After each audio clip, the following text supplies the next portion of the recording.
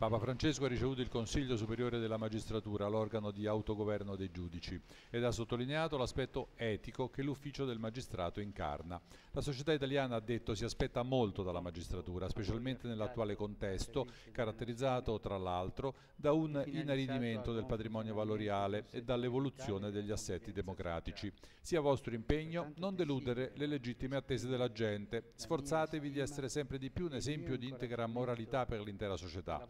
Non mancano insegnamenti e modelli di grande valore e Papa Francesco ha citato Vittorio Bachelet e Rosario Livatino, che hanno offerto una testimonianza esemplare dello stile proprio del fedele laico cristiano, leale alle istituzioni, aperto al dialogo, fermo e coraggioso nel difendere la giustizia e la dignità della persona umana.